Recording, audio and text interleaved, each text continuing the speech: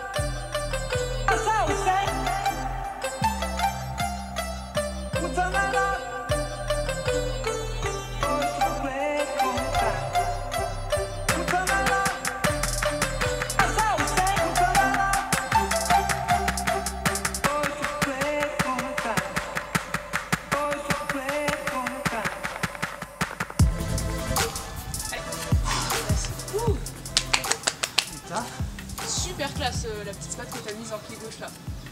putain. Vraiment classe hein. Joli.